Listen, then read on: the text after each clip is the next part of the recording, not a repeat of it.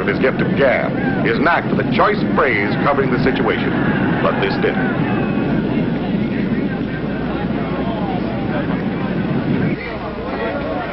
And because they hadn't seen anything like it, they fumbled for the right comments to fit the phenomenon.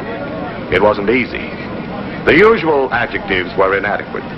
Conventional measuring sticks were feeble. There's nothing to compare an atomic explosion to except another atomic explosion. This shot, nicknamed Dog, was a typical aerial burst, detonated between one and 2,000 feet in the air. Its identifying marks were standard. First, the light accompanying the burst had lasted longer than the flash of an ordinary explosion. And now it wrote its signature in the sky, the mushroom cloud formation that is the autograph of the atomic bomb. Dog was the type of nuclear burst which, as history and experiment have shown, delivers a deadly, devastating combination of blast, heat, and immediate radiation.